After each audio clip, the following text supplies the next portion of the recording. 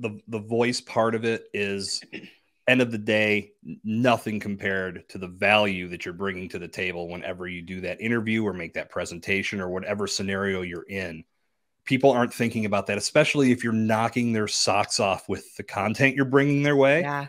the sound of your voice is nothing anymore. It basically just looks like the matrix at that point where you got the zeros and the ones and everything's green and everybody Yeah. is zeroed into what you have to say.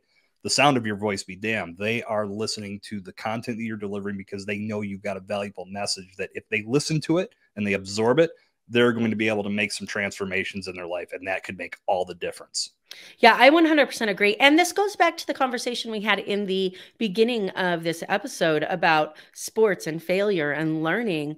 We get to go through those uncomfortable moments. We get to listen to our voice and say, oh, you know what? That actually didn't sound the way that I wanted it to. If you're not willing to listen to it and figure out how to adjust so you can have the impact that you want voice wise, you don't get better. You just keep doing the same thing over and over again. Yep. I look back, I mean, what, 230 episodes in? My first, second, third, 50th episode, like it gets better every single time Yes. because I'm willing to take the feedback from myself and others. I love it when people reach out to me and they say, "Hey Amber, like this episode was really amazing.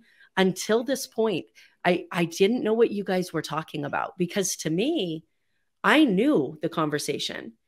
And I forgot that there are people listening who don't have the same knowledge that the people that were in this conversation that you and I have.